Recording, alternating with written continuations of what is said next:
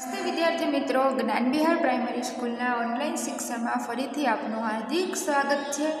ધોરણ ચાર, વિષય ગણિત.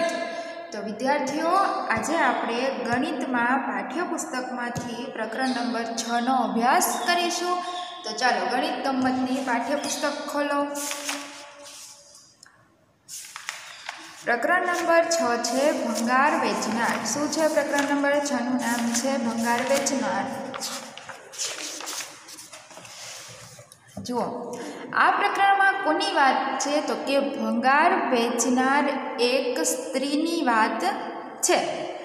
તેનું નામ શું છે? તો કે કિરણ નામ છે. કિરણ નામની છોકરી અથવા તો સ્ત્રી ભંગાર વેચવાની દુકાન ચલાવે છે. તેવી વાત આપને આ પ્રકરણમાં આપેલી છે. અને આ એક સત્ય ઘટના છે. ક્યાં? તો કે પટનામાં, જે બિહાર છે, બરાબર?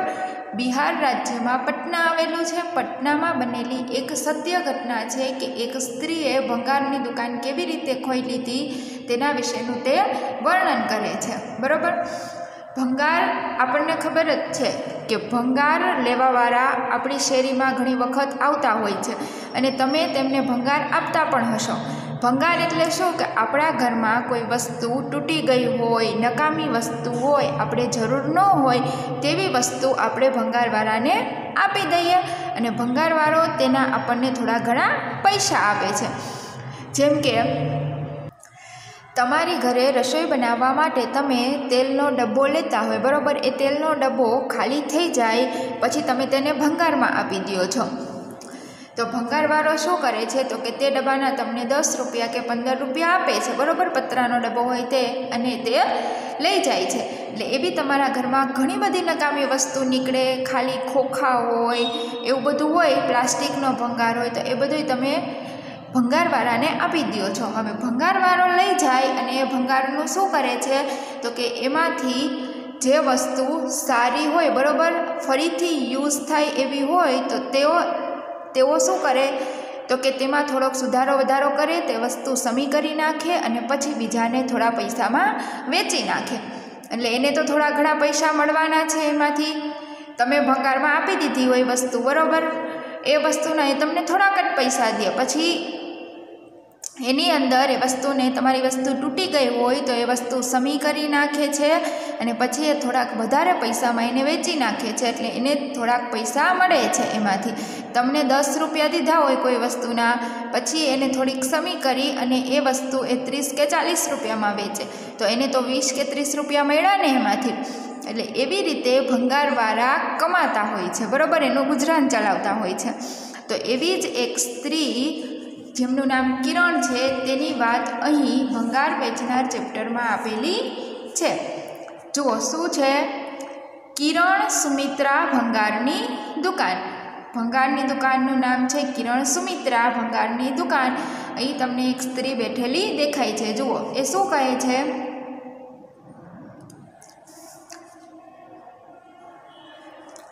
શું તમે ક્યારેય ભંગારવાળીને મળેલા છો કે જે સ્ત્રી અથવા બહેન ભંગાર વેચતી હોય?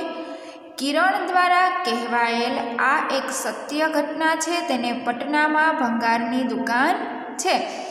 કે શું તમે ક્યારેય કોઈ ભંગારવાળીને મળેલા છો? તમારા શેરીમાં જે આવતા હોય એ તો મોસ્ટ ઓફ શું હોય તો કે લેડીઝ લેડીઝ ન હોય, જેન્ટ્સ જ હોય, એટલે કે છોકરાઓ જ હોય જે ભંગારની રેકડી કાઢતા હોય. પરંતુ તમને શું કહે છે કે તમે ક્યારેય કોઈ ભંગારવાળી સ્ત્રીને મળેલા છો કે જે બહેન હોય અને ભંગારનો, ભંગાર વેચતી હોય? કિરણ દ્વારા કહેવાયેલા એક સત્ય ઘટના છે કે કિરણ નામની બહેન છે તે આ એક સત્ય ઘટના એટલે કે સાચી ઘટના કહે છે કે તેને પટનામાં ભંગારની દુકાન છે. ક્યાં છે? પટનામાં, પટના શહેરમાં. જુઓ હું મારા ગામની હિન્દી માધ્યમની શાળામાં ભણતી હતી. કિરણ શું કહે છે કે હું મારા ગામમાં હિન્દી માધ્યમની શાળામાં અભ્યાસ કરતી હતી. મારા પિતા છોકરાઓની જેમ છોકરીઓને પણ ભણાવવા માગતા હતા કે એના જે પપ્પા છે એ છોકરાઓની જેમ છોકરીઓને પણ એ તો ભણાવવા માગતા હતા. એટલે મીન્સ કે એ એના પપ્પાની દીકરી હતી. તો પણ એના પપ્પા એમ કહેતા હતા કે આપણે દીકરીને પણ ભણાવીશું. નકર આપણને ખબર છે કે પહેલાંના જમાનામાં શું હતું તો કે છોકરાઓને જ ભણાવે. દીકરીઓને કોઈ ભણાવતું હતું નહીં. એમ કહેતા કે દીકરી તો મોટે થઈને સાસરે વહી જવાની છે, એટલે દીકરીને કોઈ ભણાવતું નહોતું, ખાલી છોકરાને જ ભણાવતા હતા. પણ કિરણ શું કહે છે કે મારા પપ્પા એવા નહોતા. મારા પપ્પા તો એવું કહેતા હતા કે છોકરાઓની જેમ છોકરીઓને પણ ભણાવવી જોઈએ. મને હિન્દી અને વિજ્ઞાન ખૂબ ગમતા, પણ ગણિત ગમતું ન હતું. એ કહે છે કે મને હિન્દી સબ્જેક્ટ એટલે હિન્દી વિષય અને વિજ્ઞાન વિષય ખૂબ ગમતા હતા, પણ ગણિત ગમતું નહોતું. આજે ગણિત મને મારા કામમાં ખૂબ જ ઉપયોગી છે. કે આજે ગણિત મને મારા કામમાં, એટલે કે ભંગાર વેચવાની એ દુકાન ચલાવે છે, તો એમાં ગણિત મને ખૂબ ઉપયોગી છે. જેની મેં શાળામાં કલ્પના પણ કરી ન હતી. એ શું કહે છે કે મને હિન્દી અને વિજ્ઞાન ગમતા પણ ગણિત નહોતું ગમતું. પણ આજે હું જોઉં છું તો ગણિત મને મારા કામમાં ખૂબ ઉપયોગી છે. જો વિદ્યાર્થીઓ, તમે પણ આગળ જઈને કાંઈ પણ બિઝનેસ કરશો તો એમાં તમને સૌથી વધારે ઉપયોગી ગણિત થશે. કેમ કે ગણિતમાં જ શું આવે છે? તો કે ગણિતમાં બધી ગણતરીઓ આવે છે. અને કોઈ પણ ધંધામાં તમે આગળ જાઓ તો તમારે હિસાબ તો કરવાનો જ હોય, ગણતરીઓ તો કરવાની જ હોય. એટલે સૌથી વધારે ઉપયોગી તમને ગણિત થશે. એટલે ગણિત શીખવું ખૂબ જરૂરી છે. બરાબર? એટલે ગણિત તો આવડવું જ જોઈએ, ગણતરીઓ આવડવી જ જોઈએ. કેમ કે ગણતરી તમને બધા જ ધંધામાં ઉપયોગી થાય છે. શું તમે શું કહો છો? શું તમને પણ ગણિત અઘરું લાગે છે? તો વિદ્યાર્થીઓ, મને કહો જોઈએ, શું તમને પણ ગણિત અઘરું લાગે છે? જો એવું લાગતું હોય તો હું તમને કહું કે ગણિત જરાય અઘરું નથી. ગણિત સાવ સહેલું છે. બસ તમને એકવાર રીત આવડી જાય કોઈ પણ દાખલાની તો પછી તમને ગણિત ખૂબ જ સહેલું લાગશે. તમારા ગણિતના પાઠ્યપુસ્તકમાં સૌથી અઘરું શું લાગે છે? વિદ્યાર્થીઓ, તમારે અહીં ખાલી જગ્યામાં લખવાનું છે કે આ ગણિતની પાઠ્યપુસ્તક છે, તેમાં તમને સૌથી વધારે અઘરું શું લાગે છે? કયું ચેપ્ટર અઘરું લાગે છે? અથવા તો કોઈ કોઈ ટોપિક અઘરો લાગતો હોય તો તે આ ખાલી જગ્યામાં લખવાનો છે. અને સૌથી સહેલું પ્રકરણ કયું છે? અને સૌથી સહેલું સાવ ઇઝી ચેપ્ટર કયું છે? સહેલું પ્રકરણ તે પ્રકરણનું નામ અહીં લખવાનું છે. જ્યારે હું નાની હતી, આ કોણ બોલે છે? તો કે કિરણ બોલે છે. હવે જુઓ, પાછી કિરણ શું કહે છે? કે જ્યારે હું નાની હતી ત્યારે મારા પિતા એક અકસ્માતમાં મૃત્યુ પામ્યા. તેથી મારી માતા કેટલાક ઘરમાં નોકર તરીકે કામ કરતી હતી. અમારો એ મુશ્કેલ સમય હતો. મારે આઠમા ધોરણ પછી શાળા છોડવી પડી, પણ હું આગળ અભ્યાસ કરવા માગતી હતી. પણ મારી માતાએ મારા લગ્ન કરી દીધા. કિરણ શું કહે છે કે હું નાની હતી ત્યારે મારા પિતા અકસ્માતમાં મૃત્યુ પામ્યા. તો મારી માતા ઘરનું ગુજરાન ચલાવવા માટે બધાના ઘરે નોકર તરીકે કામ કરતી હતી. એ અમારો ખૂબ મુશ્કેલ સમય હતો. જો એના પિતા મૃત્યુ પામ્યા, એની માતા બધાના ઘરમાં કામ કરતી હતી. એટલે એને પછી ભણવાના પૈસા નહોતા એની પાસે, તો આઠમા ધોરણ પછી એને શાળા છોડવી પડી. એ કહે છે કે મારે આગળ અભ્યાસ કરવો હતો, પણ મારી માતાએ મારા લગ્ન કરી દીધા કે મારી મમ્મીએ મારા લગ્ન કરાવી દીધા. મારા પતિનો પરિવાર માટીના કાચા મકાનમાં રહેતો હતો. કે એનો જે પતિ હતો, એના જ્યાં લગ્ન કર્યા, એનો પરિવાર કાચા મકાનમાં રહેતો હતો, માટીના કાચા મકાનમાં. તેમને બે ભાઈ અને એક બહેન હતા.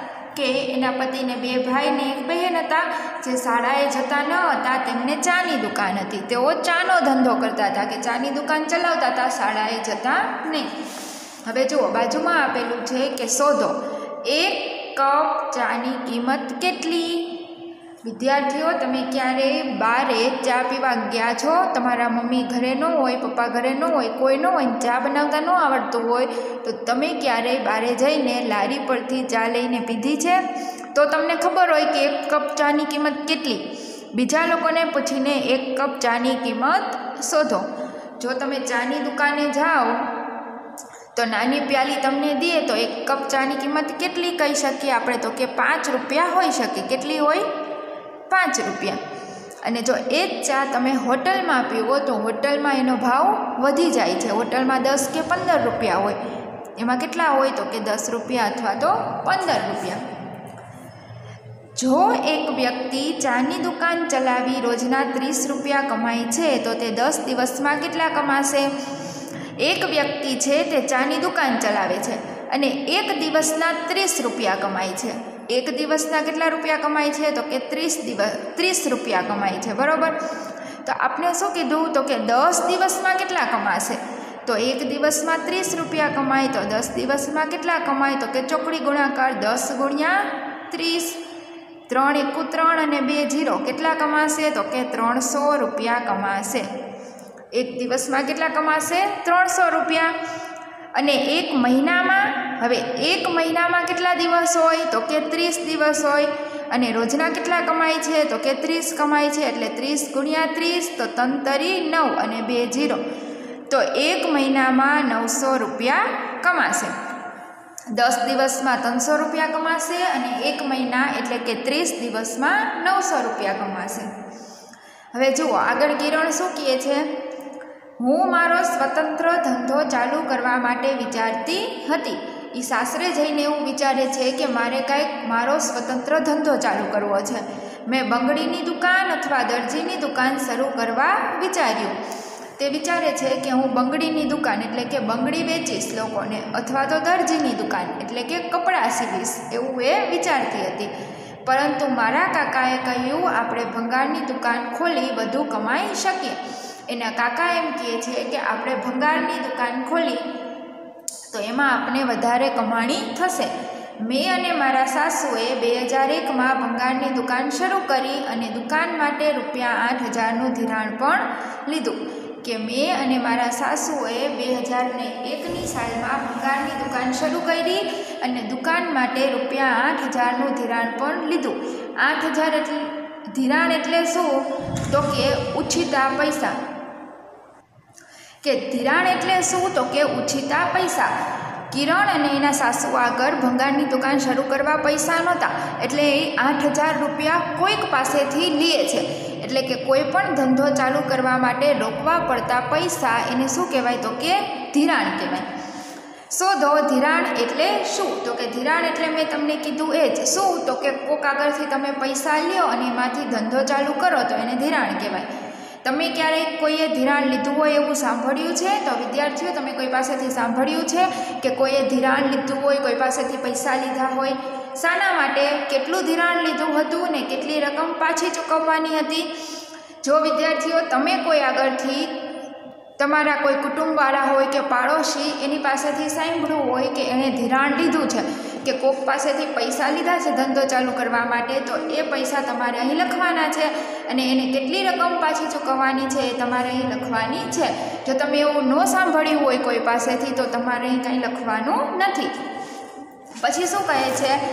તો કે બાબુ અને હરિયાને રૂપિયા ત્રણસોની હાથ રેકડી ખરીદવી છે.